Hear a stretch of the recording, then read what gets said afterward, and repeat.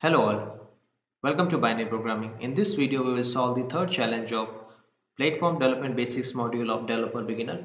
The name of the challenge is Code with Salesforce Languages. Let's move to the challenge.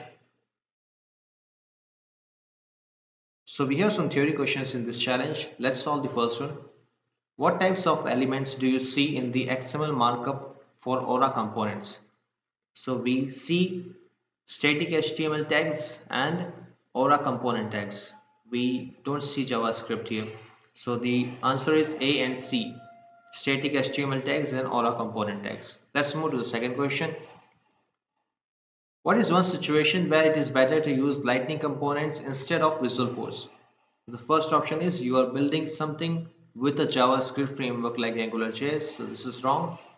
Your project will run primarily on mobile devices. Yeah, this is the right one. B is the right option for this question. Let's move to the third question. What is true about Apex controllers? The first option is Lightning components use client-side Apex controllers. This is false. Second option is Visualforce pages don't use Apex controllers. This is also wrong. Third option is Lightning components use server-side Apex controllers. This is right. Lightning components uses server-side Apex controllers. Let's see whether we have marked them correct or not.